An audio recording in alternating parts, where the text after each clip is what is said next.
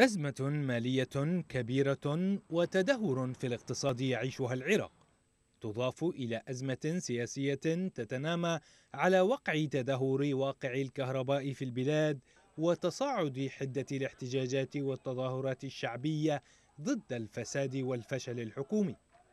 الوكالة الدولية للطاقة حذرت من أزمة سياسية كبيرة في العراق في حال استمرار الانقطاع المزمن للكهرباء إلى جانب انخفاض أسعار النفط. وكالة بلومبرغ نقلت عن رئيس الوكالة الدولية للطاقة فاتح بيرول قوله إن العراق يواجه نقصا متزايدا في الكهرباء ويرجع ذلك إلى حد كبير لنقص الاستثمار في محطات وشبكات الطاقة القديمة. وفاقم هذا النقص انخفاض أسعار النفط الخام هذا العام ما أوقف أي إمكانية لتحسين هذه الشبكات. بيرول طالب الحكومة الحالية في بغداد وبحسب تقرير وكالة بلومبرغ بخفض الروتين وإعطاء الأولوية للصيانة والإنفاق على منشآت الطاقة لدرء ما وصفها بالاضطرابات الاجتماعية والسياسية.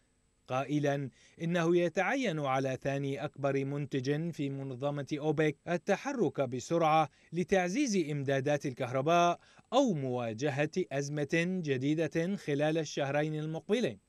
المسؤول الأممي بين كذلك أنه من أجل تصحيح اختلال التوازن في الطاقة على المدى الطويل فيجب على العراق الاستثمار في معدات ومرافق جديدة وتطوير الطاقة الشمسية وغيرها من مصادر الطاقة المتجددة.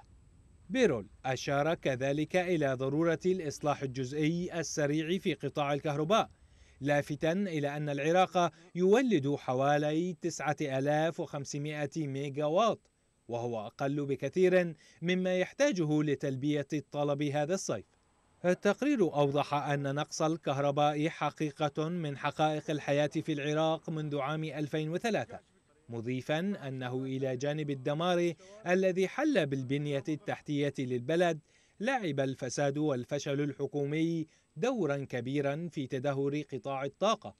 وشدد التقرير على أنه إذا لم تقم الحكومة الحالية بما يجب فقد تتفاقم الاضطرابات في البلاد وتكون لها عواقب أمنية وصفها بالخطيرة والقاسية على العراق والمنطقة.